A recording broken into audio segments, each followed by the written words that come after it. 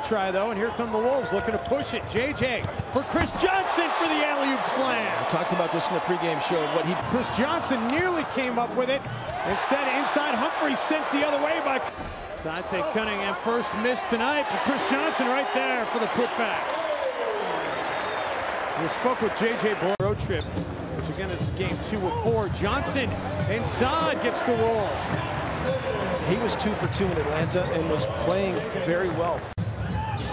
Kirilenko getting Evans in the air. And the over the shoulder feed to Chris Johnson. I'll tell you what.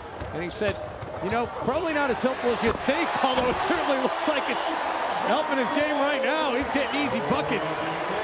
But he said chapter two, Tuesday at 10, only on Fox Sports North. Chris Johnson with the rejection. Latch putting it on the floor. Johnson got a piece of that. points as well. And, and they win games by getting offensive rebounds and putbacks and getting to the free throw line. They've done neither in this game. Johnson baseline.